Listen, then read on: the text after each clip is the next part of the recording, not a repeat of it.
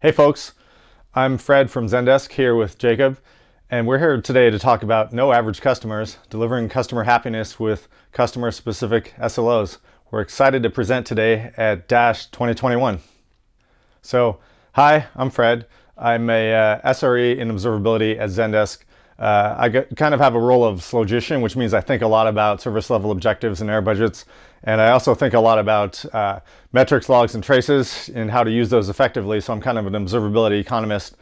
I've been doing the software thing, uh, you know, for about 20 years. Started off on Apple II Plus. I'm a dad, so I have two young kids, which means I need a lot more coffee and sleep.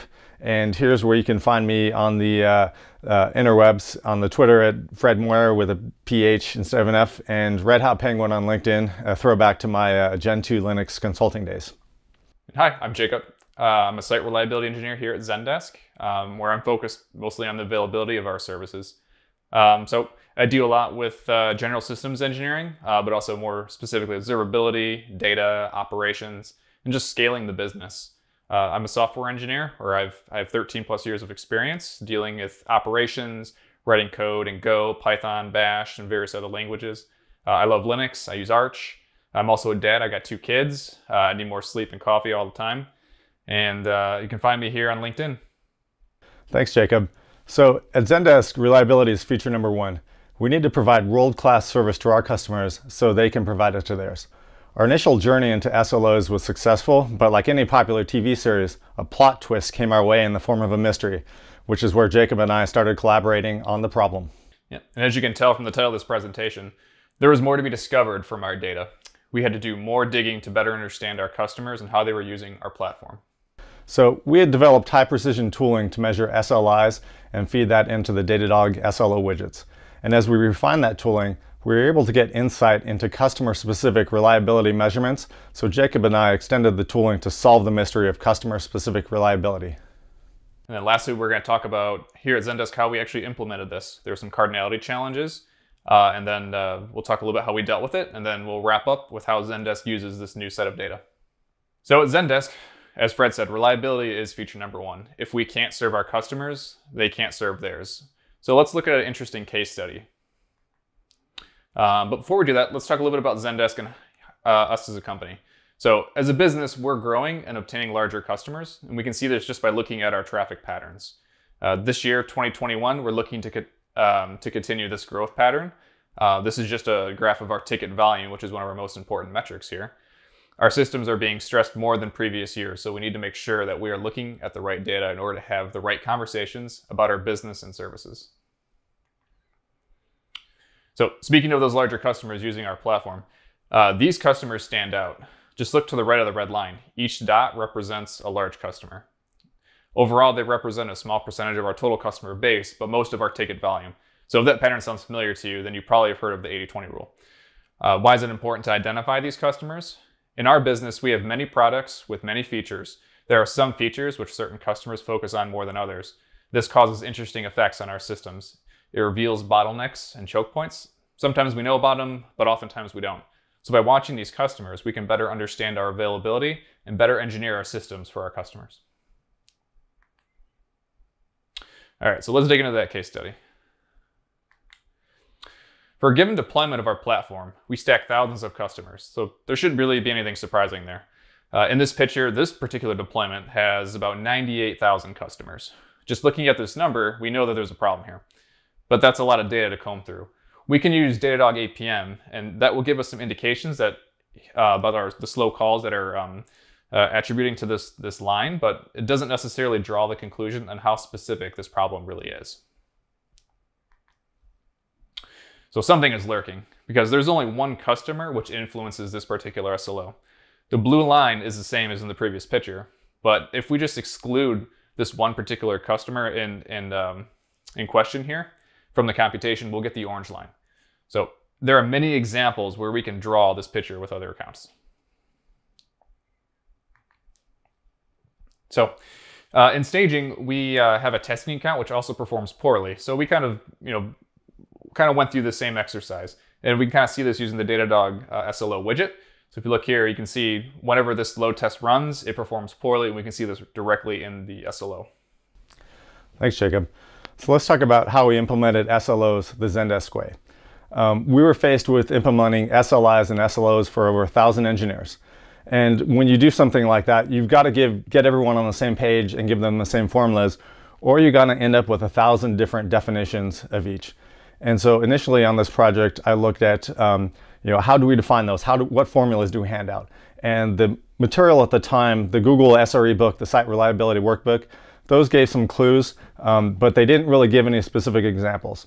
And so I leaned into uh, a video by Liz Fong Jones and Seth Vargo, which kind of represented the other major way of um, defining SLIs. So let's take a look at that.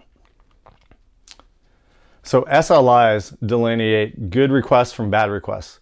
You know, a good request is one that's say like, you know, faster than 500 milliseconds and returns a 200. A bad request is one that, you know, could be a 500 or is really slow so that the user leaves. Um, so let's take a look at the formula that we used uh, to tell engineers how to define these things. So right here you see you know a couple things. You know an example SLI is homepage request could be served in less than 100 milliseconds. And we really parse this out into three different pieces um, to make a formula. And this fits conveniently into the, um, some of the Datadog tooling where you have the query parameter. So first we have a metric identifier. In this case, it's homepage request served in some amount of time. And then we have an operator, which in this case is less than, it could be equals, not equals, or greater than, you know, some sort of Boolean operator. And then we have a metric value.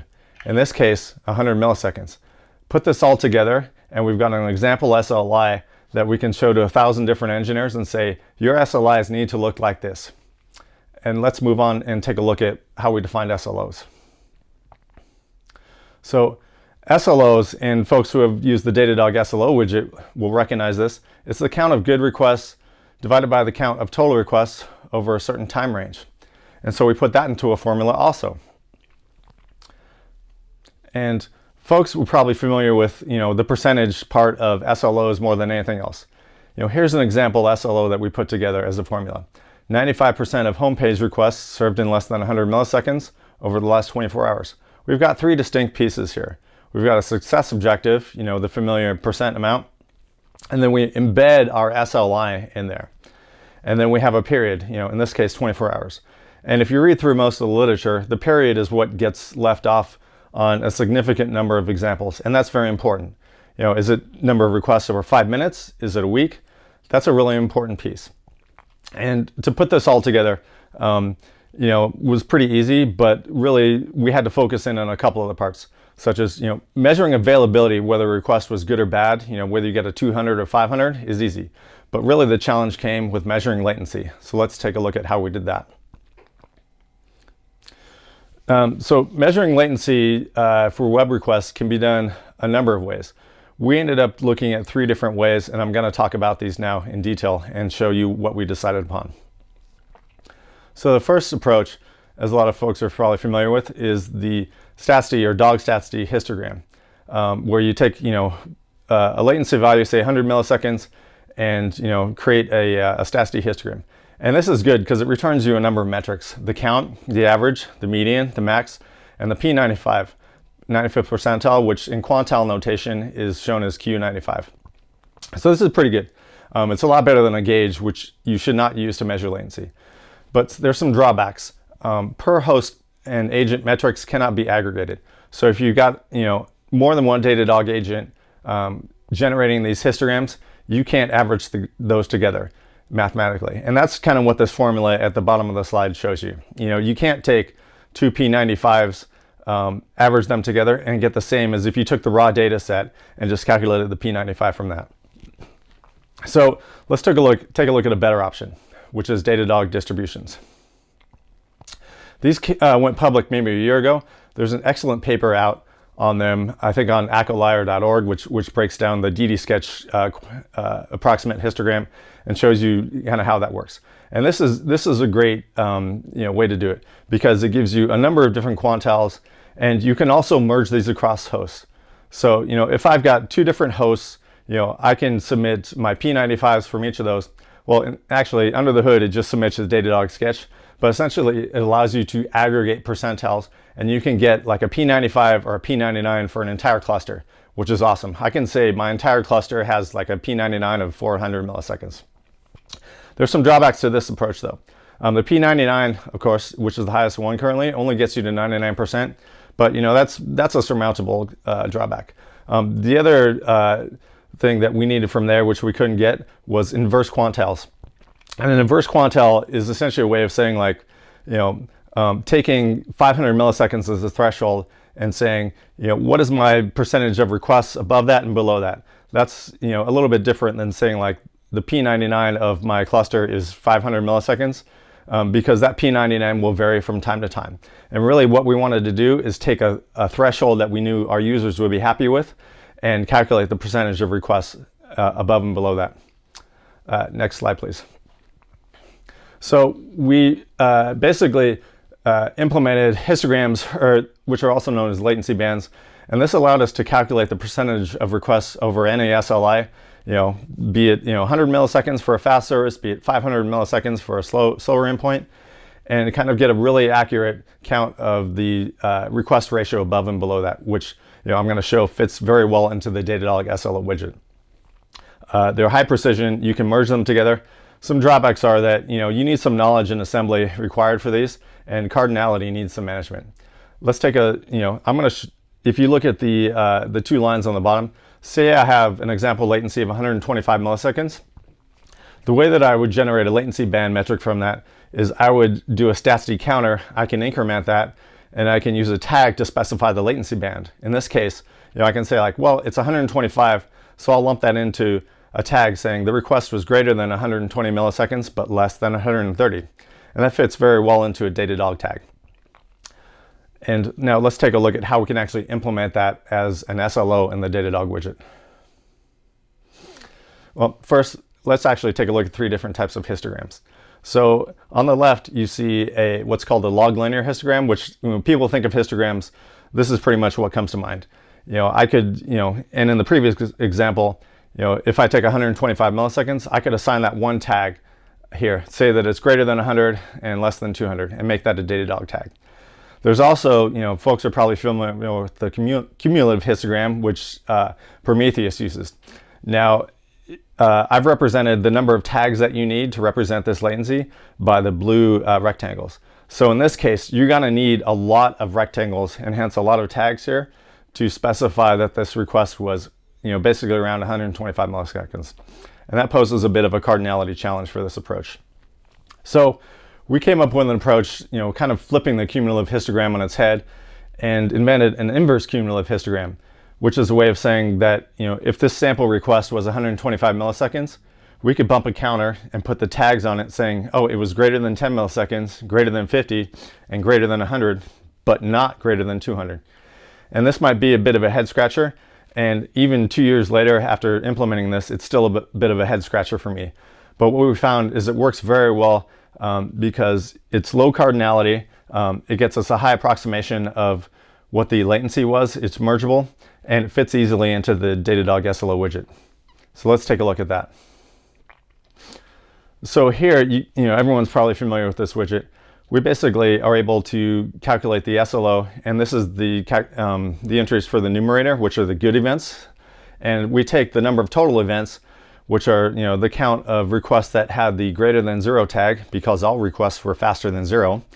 Um, we subtract the number of requests that were greater than 10 seconds, in this case represented by 10,000 milliseconds. And then we subtract the number of requests that you know had a 500 status code. And what we get is the number of uh, essentially good requests, and we divide that by the total requests. And the Datadog widget for SLOs spits out the amount of error budget we have remaining. And we can also set you know, a number of different levels based on different time frames. So this was really easy to put in place. And if you think about, well, why can't you just do that with the log linear or the uh, cumulative histogram? The answer is um, in the simplicity here. This is very easy to read. If you used either of the other implementations, you know, you'd have several more entries for each of those uh, rectangles. And in the case of, you know, adding up the total number of requests, you'd have to select every bin of the log linear histogram. So really this gave us something that um, was high precision and yet very easy for an operator to implement. And back to you, Jacob. All right, so getting personal with customer SLOs. So how we manage the cardinality challenge, as Fred uh, alluded to, there's some cardinality issues that we have to deal with. So let's take a look at, take a look at this a little bit. So perhaps this question already popped into your head. With all the many accounts that we have, how do we track them all? Well, the, the short answer is we don't. We only track the uh, identified large accounts and perhaps a few others of interest. Uh, the reason why is that um, we need to uh, control our metrics volume. Uh, so when planning metrics, your choice of tags are important as they directly affect the metrics volume that you use. The formula that you need to consider for yourself is the Cartesian product of all tag sets. This will equal your theoretical volume of a specified metric. So just looking at uh, our SLIs, this shows you how it played out for us. Um, if we add up all of our tag sets just that we use, we end up with about 44 billion unique combinations, which is a big scary number. So there were several tags at play for us which are not listed specifically, um, but we know that some of those tag combinations won't exist. Um, so as a best guess, we can eliminate those from the equation and focus on the ones we know we know would contribute to the most unique combinations. So if we do this, this gave us about 2.4 million unique combinations, which is a tolerable number for us.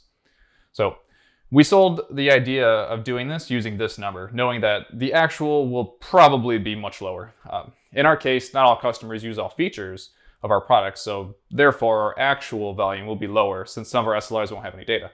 So just to uh, confirm the actual, we wrote a script which scrapes the data uh, API from Datadog, and we found out that our actual volume ends up being about 870,000. So if we don't watch them all, how do we control who we watch? And at Zendesk, we have a feature flag system. Um, so this helps us control the features that are enabled for uh, different accounts, giving us easy ways to control um, how this tag uh, tag uh, gets distributed. So uh, in addition to that, we also take part in Datadog's metrics without limits, and we use this to ensure that our tags tag use is well controlled. So I'll talk a little bit more about that in a few slides. So for calculating actuals, we ran a script similar to this one, um, which utilizes Datadog's APIs uh, to ask for our distinct metric volume. So we provide a metric namespace so that we're only calculating the ones that we care about, and then it just outputs your, your volume. So pretty straightforward. So, and uh, just want to call it, we're also customers of metrics without limits. So this allows us to select which tags are indexed and which are not. Um, so if you're using this feature, then this is what the view would look like. Um, so notice the ingested and index numbers are not the same. So in this case, we only care about the index numbers. So this would be your GUI way of doing things.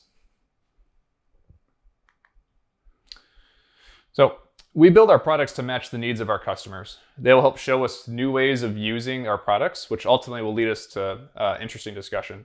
How can we better support our customers given the way our products are being used? So Zendesk is using this new data to help make sure we are um, using common language across the company divisions. Um, converging on definitions allows us to have much more meaningful uh, discussions on our products when it comes to reliability. In addition, we're also using this data to drive discussion about how to scale our products. Um, this could entail that we introduce some new product limits to help govern our aspects of our system, or possibly some feature that was not designed in a way which scales with the needs of our customers. So just having this data is gold. So thank you for taking the time to listen to us. We're hiring and we use Datadog, so come check us out at jobs.zendesk.com.